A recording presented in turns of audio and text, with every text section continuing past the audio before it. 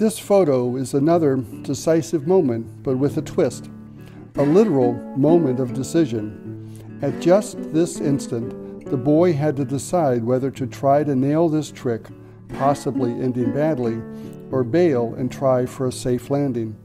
However, the real reason I like this photo is because it amuses me, for two reasons actually, both related to fond memories of a favorite childhood cartoon series, Wile E. Coyote and the Roadrunner.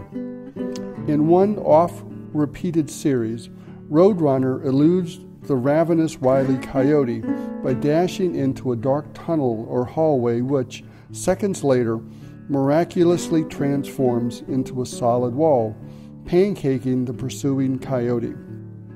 I just watched a few of these episodes and they still crack me up not because I have anything against coyotes, but because they remind me that in life, some days you're the roadrunner and some days you're the coyote.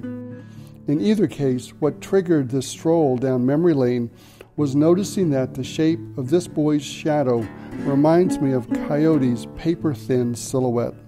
In another common ploy, Roadrunner tricks Coyote into running off a cliff where he preternaturally floats in thin air until, eventually, he looks down and realizes he's levitating over a very deep canyon. The uh oh look on this boy's face reminds me of Coyote's just before the inevitable plummet and crash. In case you're wondering, he tried to nail it and it ended badly.